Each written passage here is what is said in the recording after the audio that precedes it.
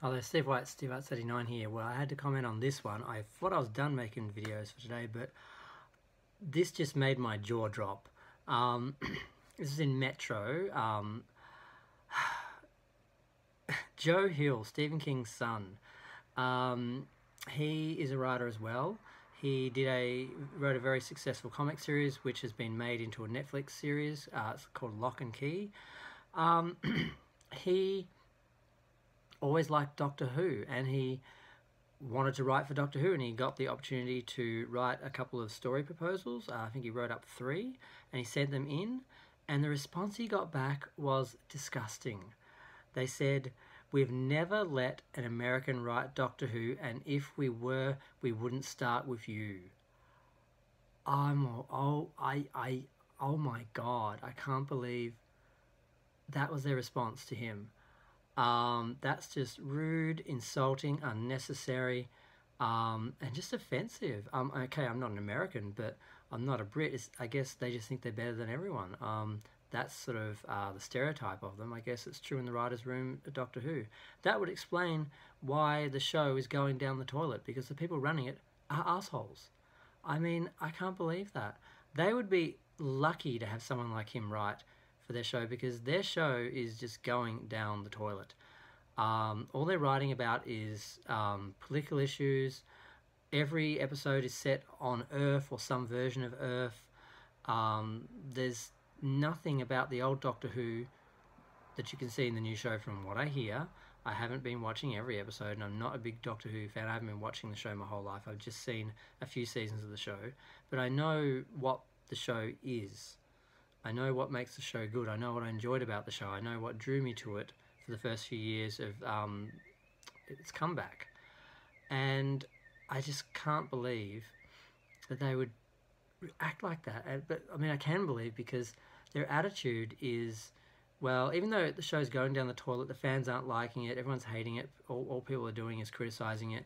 We're not going to listen to that. We're just going to do what we want because it's about us. It's about us and what we want to say, what we believe, our agenda, and not what the show should be about or what the fans want or the audience wants or it's just I just couldn't believe that when I heard that um, and that was from he, he said that's what they said um, and I can't believe he would make something up like that that's so insulting and embarrassing and humiliating as a writer and artist have someone say something like that and treat you like that I can't believe he'd make that up. I can't see any reason for him to make that up.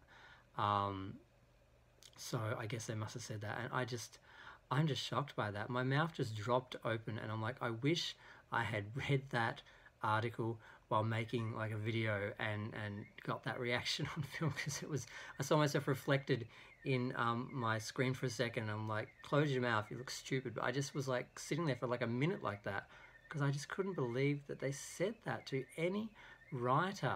I mean, what is their issue with him? Is it just because he's American?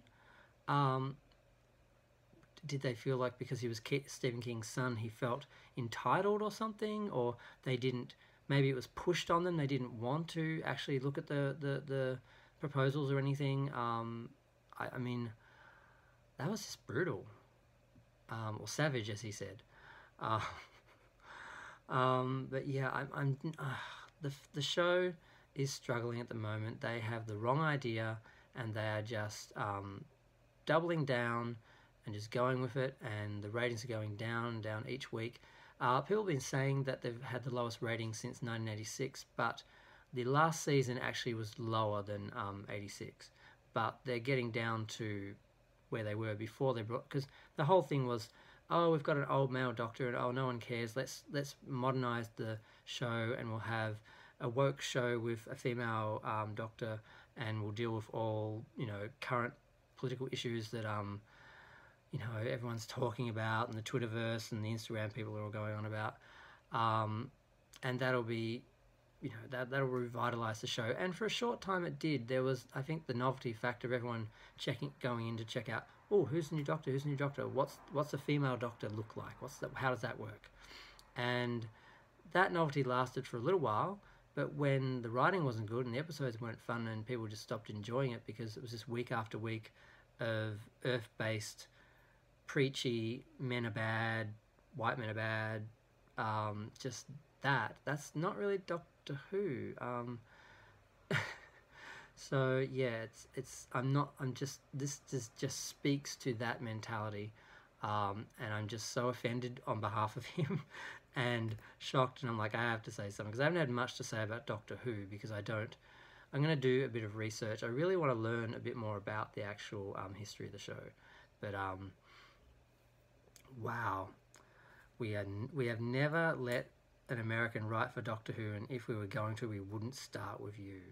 Wow, what a bunch of assholes. He's better off with Netflix working on his series, and I wish all the best to him.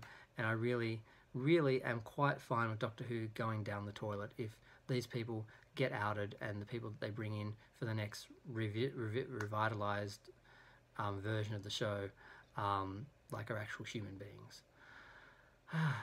okay, I'm, I'm done. Feel free to share, comment, like, um, tell me what you think, or if I'm wrong about any Doctor Who stuff, if you think these people are brilliant for some reason, feel free to let me know how wrong I am. Thanks, bye.